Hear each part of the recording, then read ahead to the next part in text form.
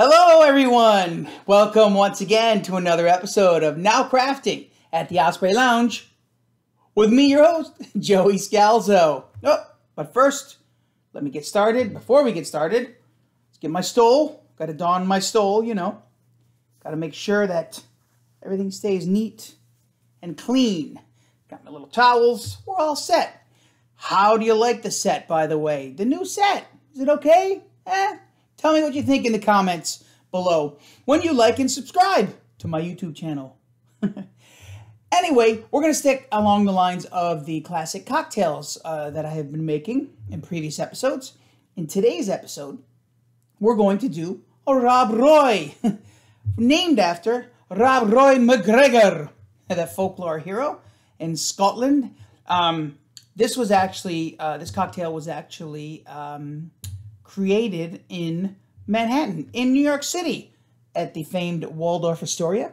It was opened for a, um, it was uh, named for a an operetta that was opening in New York City, and so um, this bartender at the Waldorf Astoria named it. So let's go. A Rob Roy. What's in a Rob Roy? Real easy ingredients. You've got Scotch. I've got a single malt Scotch, a 12 year old. It's a Speyside. It's like a sub-region of the Highlands, so um, a comparable uh, uh, whiskey that you might know, Scotch whiskey that you might know, a Glenlivet or a Macallan. Glenlivet Wayne, my buddy Wayne loves the Glenlivet. Um, so uh, this uh, Scotch is sort of from the same region. This is Glen Fohdry, uh, just a sort of everyday drinking single malt Scotch. Uh, single malt scotches, blended scotches. We'll go over that in a future episode. But right now we're talking about a Rob Roy. So two ingredients, single malt scotch, which is I'm using, or you can use a blended scotch whiskey like Johnnie Walker, and a sweet vermouth. A vermouth, sweet. It is a fortified wine. Remember, folks, we got to keep this refrigerated when we're not using it because you don't use it a lot. You use it in your Manhattans. You use it in your Rob Roys. Um, what else do you use it in? I don't know. I forget. But anyway, um, sweet vermouth. And uh, I have a vacuum stopper. Keeps it nice and fresh. Little vacuum in, vacuums all the air out. Blah, blah, blah. So Rob Roys can be made um, in uh, two different ways. You can make them up in a cocktail glass, or you can make them on the rocks in a rocks glass or an old-fashioned glass. We talked about old fashions earlier. Um, old fashioned, once again, created in New York City. Uh, it was like a remedy for a cold. It was bitters, sugar, the original recipe in uh, whiskey or um, rye, you know, on the rocks, muddled. It was sort of a little, uh, sort of a, a cure-all. Um, and then it adapted to the uh, recipe that I uh, showed you in an earlier episode. But once again, two spirits. So basically, it's a two to one ratio. Once again, it's all spirits. Basically, all spirit drinks are two to one ratios. I'm going to make two. I'm going to do on the rocks, and I am going to do an up or cocktail glass, no ice. Um, so, first thing first, I'm going to do two ounces for each drink, which will actually be four ounces total. So, we're going to use the jigger, the two ounce side. We're going to go one, woo, and we're going to go two, another two ounce for the second drink. Woo! And then, ding, ding, ding, three times, that's it. And let's wipe off the bottle so we don't get it sticky anywhere else. And then for the sweet vermouth, I'm going to put one ounce of each, two to one ratio. So I'm going to use a two ounce side once again, so one ounce for each drink. It's going to be a fun day, I'm telling you, fun day. Two Rob Roys, woohoo! Three times, no more, no less. All right, sweet vermouth. Now, you're going to add your bitters. This is Berg & Hauck's bitters. Um, it's a German style bitter. I'm going to use orange. You could use Angostura bitters, which is another type of bitters. Bitters, remember, it's an alcohol-based sort of flavoring agent. Um, adds another depth of character, level of character. Um, I'm going to add about ah, five to seven. One, two, three, four, five, six, seven. There we go. Seven drops of the Berg & Hauck's bitters. And then we're going to stir. We're going to stir because it's a stir drink for the up. And then we'll just pour it over the rocks for this one. Never shake it. Stanley Tucci. I love you. I know. Tooch. Tooch. Oh, oh, your look. I love it. Um, anyway, uh, it's a uh, stirred drink when you do it in an up in, in an up cocktail glass, and then you can put it on the rocks. I'm going to use one rock. I'm going to use a square rock, a cube, made in this nice little uh, mold here. All of this stuff, most of it, you can get from my fellas and ladies over at cocktailkingdom.com. Those guys and gals have everything you need under the sun. So let's ice the drink. We're going to use our ice scoop. Try not to use your hands. It's a little difficult. I know.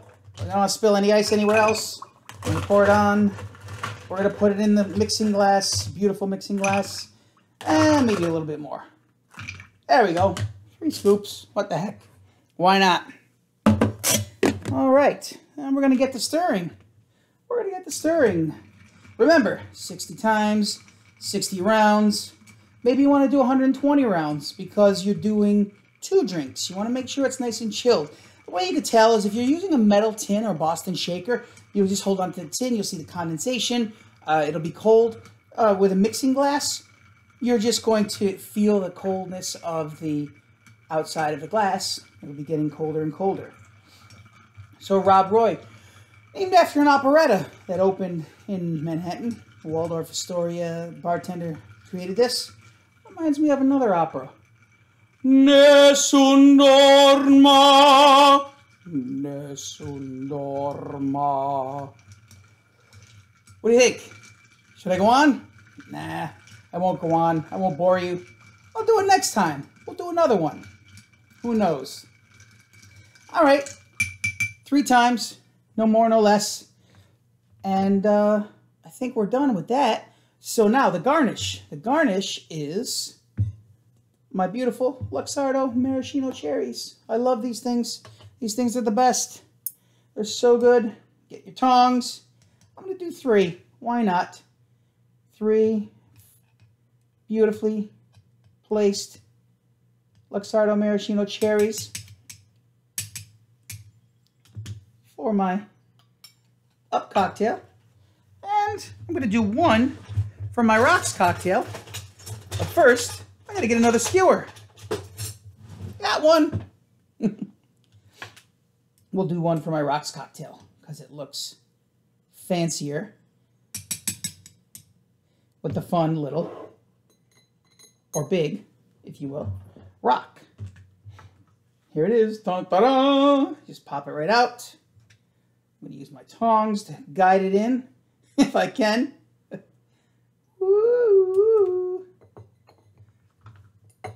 There we go. You'll see it'll start to melt. It'll go down. Give it a little twirl. If it doesn't, and then once I pour the uh, drink over it, it'll definitely go down. It'll definitely melt down. All right, Hawthorne strainer. Here we go. Gonna pour a little bit on the here first. Oh, look at that. Rob Roy, yum. And then we're gonna pour the rest into our up glass, our cocktail glass. Let's see, let's see, did I cheat the person getting this one? No, what a perfect pour. No more, no less. So there you have it. Your Rob Roy, you've got it up, neat, chilled, or you've got it on the rocks, or rock, if you will. Once again, my name is Joey Scalzo. Uh, this is Now Crafting at the Osprey Lounge. For more about me and all the stuff you see here, I got two websites, joebiz.net and joebiz.org. Depending on which industry you're in, the hospitality or entertainment, joebiz.net is the entertainment, joebiz.org is the hospitality. Um, please like and subscribe below. Uh, if you feel free to put a comment, something, let me know what you want, what you need, what's going on, and or just to say, hey, have a great one. We'll see you soon.